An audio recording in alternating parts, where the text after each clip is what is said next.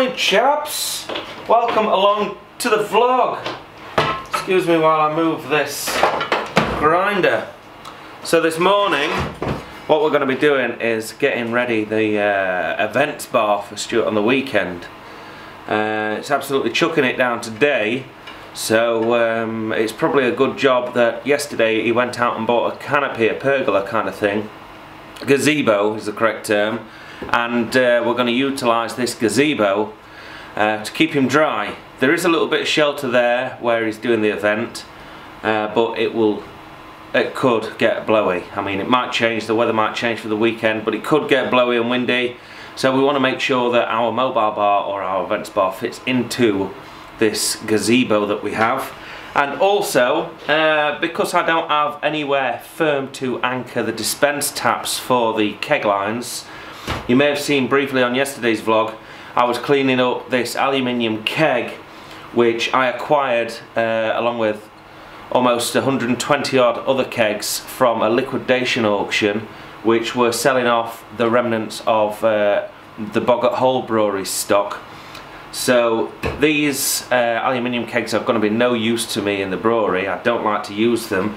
And now I've cut into one you'll be able to see in there I don't think you'd want to be putting your beer in there either, looking at the state of that. So, what I've done is turn this into a keg font, if you like. Um, I don't recommend you go out and nick somebody else's kegs or casks. There are plenty available online or from Kegwatch or they can put you into touch with the right people to buy them legitimately and if you really wanted to pay the shipping I would send you an aluminium one at a reasonable price. Uh, I've been giving all the plastic ones, I'm just going to go off on a tangent here. We got about 35 plastic kegs as well from this liquidation auction and they're no good to me either. I think they're too dirty to uh, put into circulation.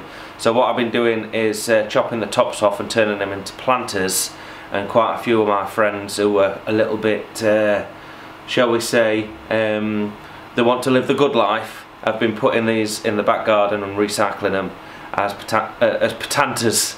as potato planters uh, so they can grow potatoes on a patio or on a uh, balcony if they live somewhere that doesn't have a garden. So they've got a new lease of life and they haven't gone to landfill, which is good. But the aluminium ones, I could weigh them in, uh, but I think that they, we can find a better use for them than that. Uh, Ali Price isn't fantastic at the moment either. So uh, what I've done with this one is I've hit it with the flapper disc. We've taken off all the paint and most of the dings and dinks and horrible lookingness. And then I sat it in the sink and I rubbed it with pure sodium hydroxide which reacts with the steel, uh, aluminium and creates hydrogen gas so don't do it in a enclosed space but at the same time it kind of anodizes the aluminium. You can see how white this looks now when if we put it in comparison to the lid which came off yesterday you can really see the difference on how scabby and let's get just, just zoomed in a little bit. You can kind of see how scabby and manky it was before and how clean and white. It's not shiny but it's clean and white uh, so it looks a lot better now so as I was saying, the plan is to turn this into a keg font, so I've chopped the bottom off to give me access into the cask itself and then I've decided to make the shive hole the front of the font because once we hammer a shive into there that's going to look that's going to be the best look inside in terms of what the customer is going to see when they approach the bar. So we'll whack a shive in there when we can I'll see if I can find a wooden one. And then I've drilled three holes in the top here for the taps. So we've got these taps, these are the Elegant stubbies I believe they are. And uh, we're just going to take off this back nut. Now, a lot of people use 3 8 beer line. Uh, the Maxi 310 that we're going to cool the beer lines with uses uh, 3 8 beer line connectors. But these Elegance taps come out with a 5 16 So you do need a 5 16 to 3 8 uh, John Guest adapter. And then what we're going to do is poke him through the holio like quit and hopefully maybe I'm going to have to put that adapter on afterwards. Yeah looks like it. But hopefully we get in here try and do it on, sh on, on in shot it's 8 o'clock. An excuse. There we go. That is how she's going to look. So we can serve the beer like that. I don't have a drip tray but I'm kind of thinking whether I can uh, rejig this lid. Maybe cut it out and stick it on as a drip tray there. It might work it might not. You can see another one of the reasons why I don't like these aluminium kegs. It looks like the surface of the moon doesn't it? And you can see they have like an epoxy resin on the inside so your beer doesn't react with the aluminium. But there are places where obviously the resin has given up the ghost and now the aluminium is just disappearing. So yeah I don't like them at all. So I'm gonna get the rest of the uh, keg taps on here and we'll put it on the event bar see if we can figure out a way to fix it down and then put some shelves into the events bar for the maxi chiller and maybe uh, somewhere to store cups and uh, pint pots and what have you. And uh, we'll come back then. So the project has evolved a little bit in the past couple of hours. Uh, we've got the gazebo up. So that's what we're looking like at the moment it's a good gazebo, it's very easy to erect. Oh erect. Uh, so yeah it's one of those where you just push it up and it's got all of the uh, kind of concertina uh, sides.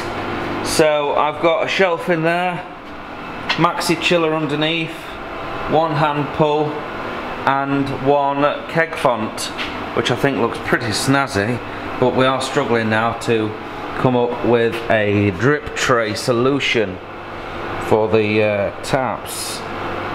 So yeah really I'm racking my brain.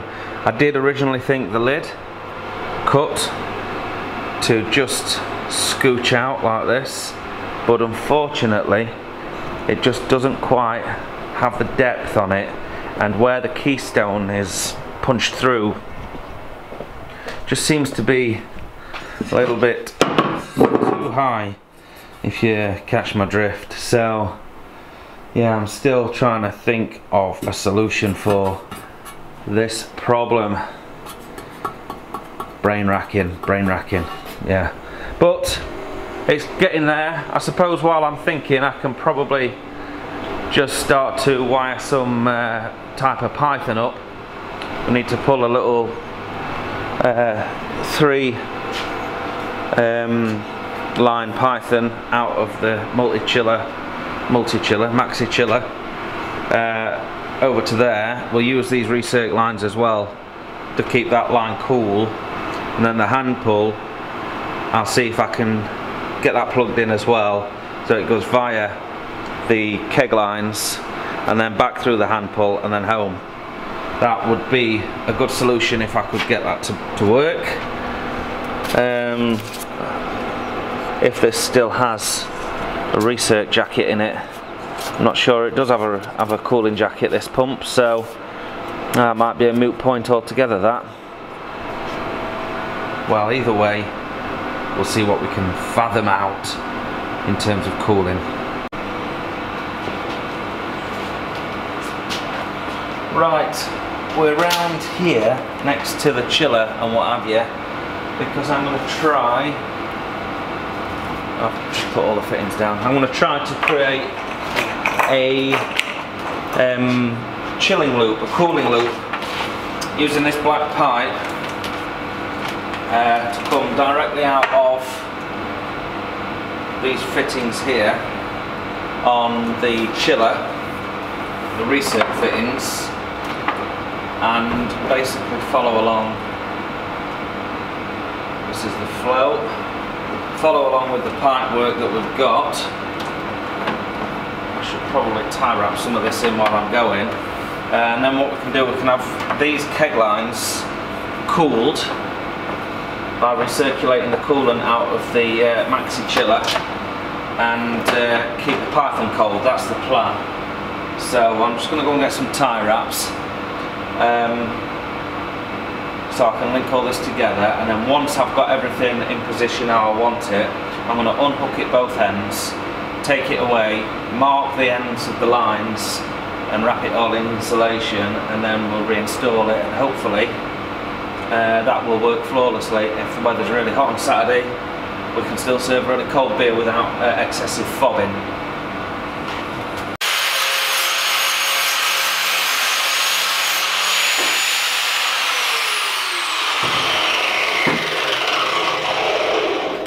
been kind of struggling to come up with an idea for the drip tray.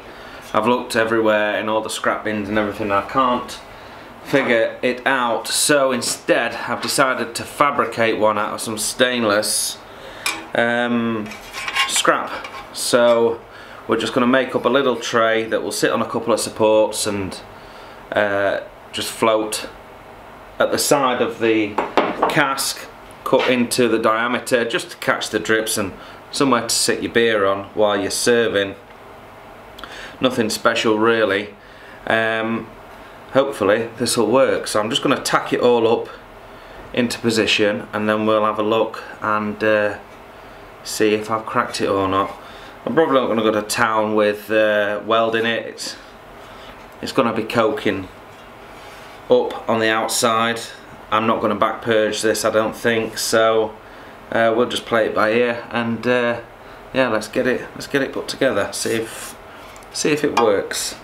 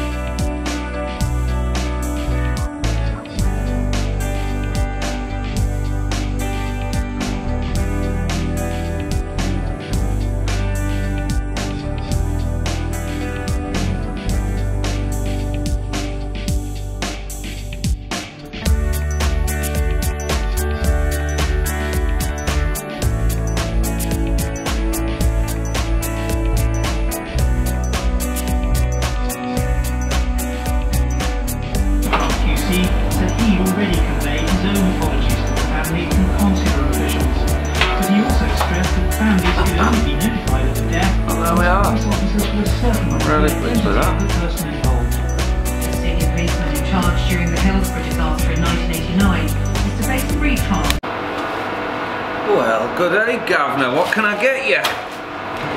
It don't look too bad, does it, to be honest? So, uh, we've got most of the equipment in place and ready to rock and roll. I've just filled everything up with some line cleaner, tested the pressures for the keg setup, which is down here.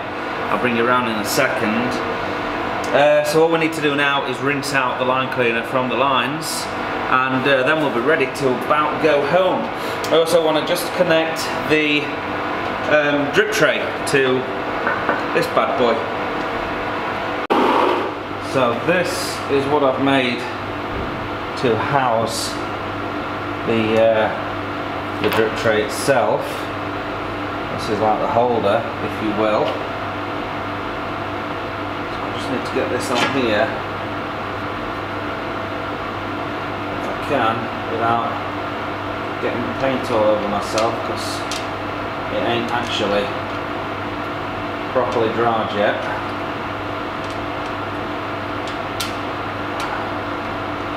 Probably not my uh, wisest move. No, I'm not going to be able to do this. Oh, says, I believe in myself now. There we go, anyway, that's one inch. So if we can pop the other side in as well. Just needs a little squeeze. And then I'll just nip into the workshop and grab an Allen key. Oh my god, this is not as easy as I hoped.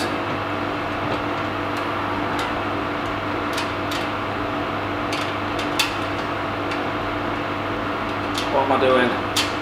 Right, about, I'm gonna go and get an Allen key. We'll come back when this bloody thing's on. There we go then folks, this is what we've fabricated, look. So we've got that, we have a drip tray, and uh, down here we have all the paraphernalia for cleaning some keg lines. So what we're going to do is put this keg, Sankey keg connector on, charge her up, and while I'm at it, I'm going to drop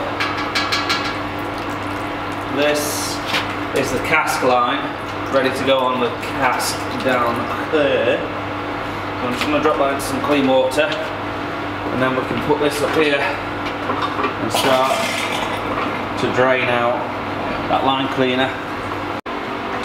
Quick reposition of the camera will help. There we go. We don't need to run too much water through here, just about 5 litres will do us. That's good. Then let's move on to the next adapter. There we go.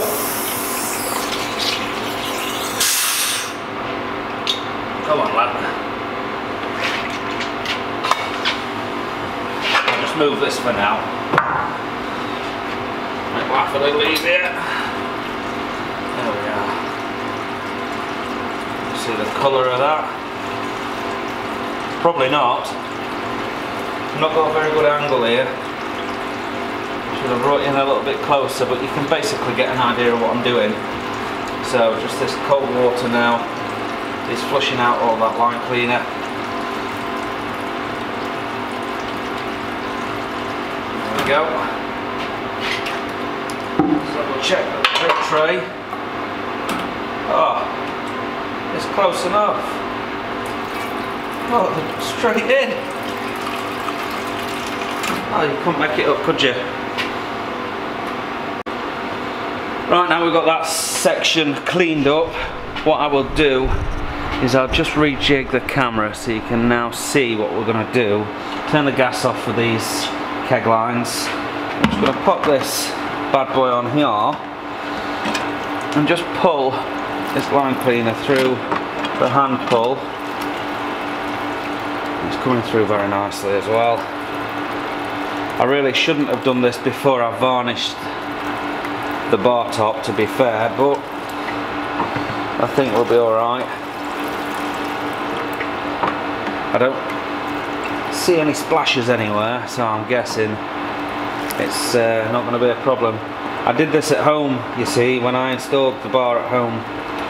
I ended up cleaning the lines in a hurry to get some beer on before I'd varnished the timber and uh, the sodium hydroxide makes the wood go grey so it left loads of little grey blackish stains on the timber so I don't advise you do it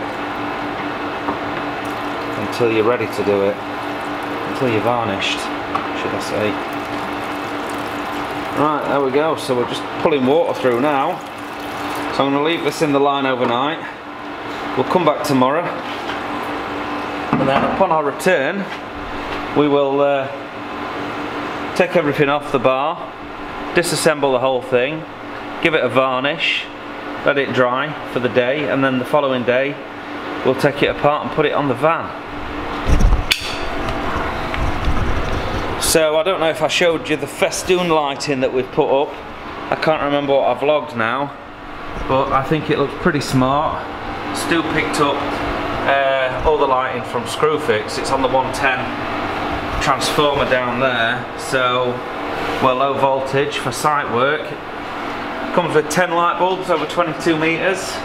Uh, just about enough for this 3x3 gazebo to be fair.